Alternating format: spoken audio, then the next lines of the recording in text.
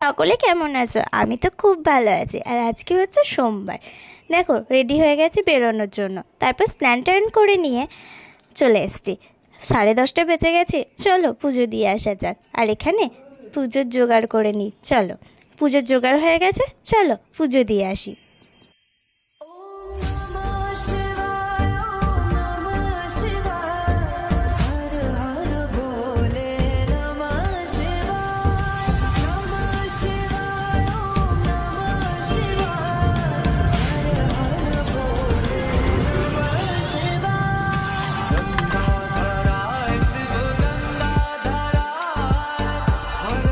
আজকের ভিডিওটা এই পর্যন্ত। টাটা।